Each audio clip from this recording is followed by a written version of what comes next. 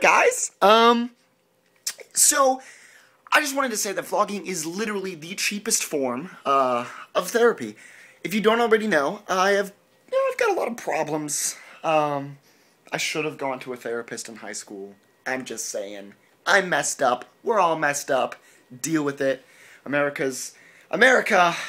I feel more than other countries drowns their their pain and sorrows in in, in therapy, and I found that much more cheaper uh, form of therapy, well, that's vlogging. Because if there's ever something on my mind, if there's something that makes me angry, if there's something that makes me happy, if there's something that's bothering me, if there's something that this, this, this, instead of keeping those feelings inside of me, uh, I vlog about it. And if you don't, I mean, if you don't watch my videos, I've got this I don't give a F uh, attitude towards life. And that's not really, I don't give an F. I'm not, I'm censoring this video a little bit. I actually do give lots of Fs um, on tests, if someone didn't uh, perform as well as I thought, a D's just not going to cut it. They, they get the F. No, I really do care about a lot of things. Um, so it's not that I don't give an F. It's that I don't um, censor myself. And this is just me venting or me doing exactly what I would be doing in a therapy session. Uh, instead, it's in a video form. So if I see something in the news one day and I'm like, oh man, that's crazy, instead of keeping that, that inside of me and having all my thoughts over the years build up, I just whew, let it all out. Whew, just like that. I look terrible today. Hey baby, what's going on?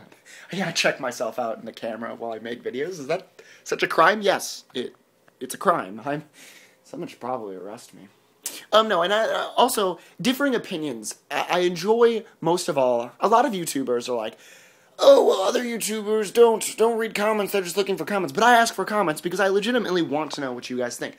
Because uh, your opinions either strengthen mine or completely turn them upside down. For instance, I was having a conversation with the greatest ever, and he was saying how, you know, our opinions are usually different between me and him, but we still managed to stay friends, and uh, I think the biggest thing that's great about his opinion is he always voices it to me, and it either really, really strengthens my opinion or turns it upside down. So, instead of paying thousands of dollars for therapy, why not just vlog? Oh, yeah, yeah, yeah. I don't know. Uh, what, are your, what are your opinions on uh, therapy and uh, vlogging, I guess, because that's what I do. Another thing is, everyone is getting very, very. Most of my comments are like, you have a Hannah Montana and Justin Bieber poster. You want to talk, you gay. You gay. if you don't understand why I have these posters, you shouldn't be watching the, this video right now. It's for the lulz, okay? Jesus, man. Jesus. Spanish for Jesus. it's been fun. Let me know. Bye.